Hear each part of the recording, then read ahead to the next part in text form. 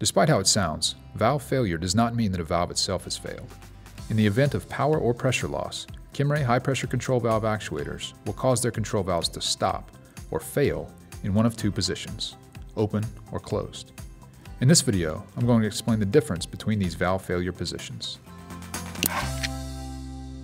In this context, the term power refers to the means by which the actuator is moved, be that air pressure, gas pressure, or electric power. These power sources can be interrupted for a number of reasons, which can wreak havoc on your production. To mitigate this, it is important to carefully consider the fail position of your control valves.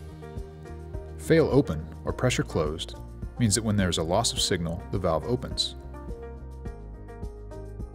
If you're using your valve in a back pressure application, such as holding pressure on a separator, you want it to be fail open. Fail closed, or pressure open, means that when the signal is lost, the valve will close. If you're using your valve in a pressure reducing application, such as for suction control on a gas compressor, you want it to be fail closed.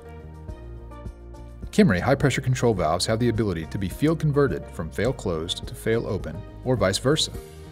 See our video for instructions on this process. If you have questions about the operation of your control valve, leave a comment below or contact your local Kimray representative.